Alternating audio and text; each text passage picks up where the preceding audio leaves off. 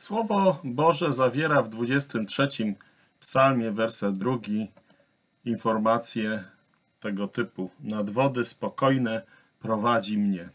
Spokojne wody w tym psalmie 23, nad wody spokojne prowadzi mnie, mówią o pokoju i uciszeniu serca. Niekoniecznie wywołanym sprzyjającymi okolicznościami, ale raczej bez względu na okoliczności.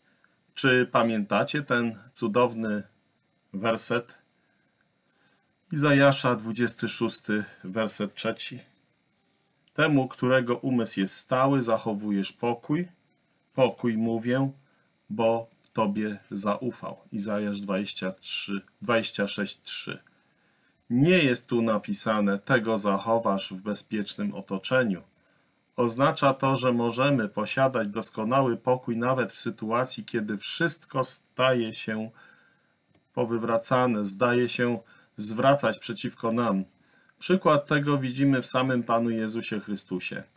Przypomnijmy sobie tę sytuację na jeziorze galilejskim, kiedy rozszalał się potężny sztorm.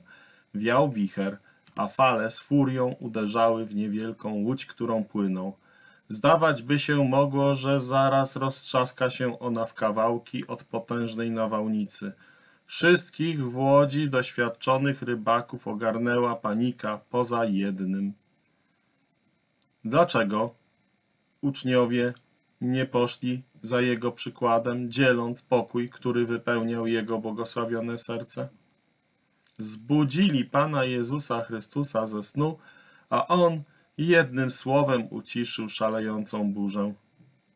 Uczniowie podczas sztormu byli tak samo bezpieczni, jak wówczas, kiedy na jeziorze nastała wielka cisza i nie było powodu, aby nie podzielali z Panem Jego pokoju. On może dać swój pokój do naszych serc, ale my potrzebujemy miejsca, w którym moglibyśmy odpocząć. Inaczej nie będziemy mogli radować się Nim. Gdzie Pan Jezus znajdował odpocznienie? W niezmiennej miłości Ojca.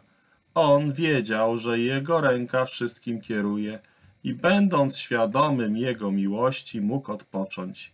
On podarował nam tę samą miłość, abyśmy i my znaleźli w niej odpocznienie.